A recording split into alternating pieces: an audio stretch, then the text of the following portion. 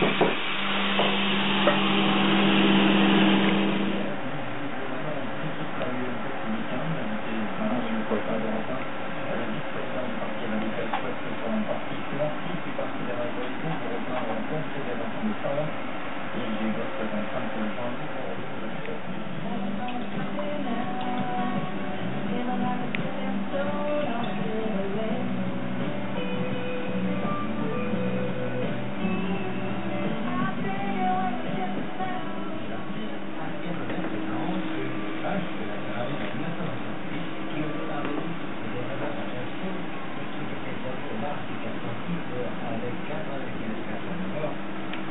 Madame,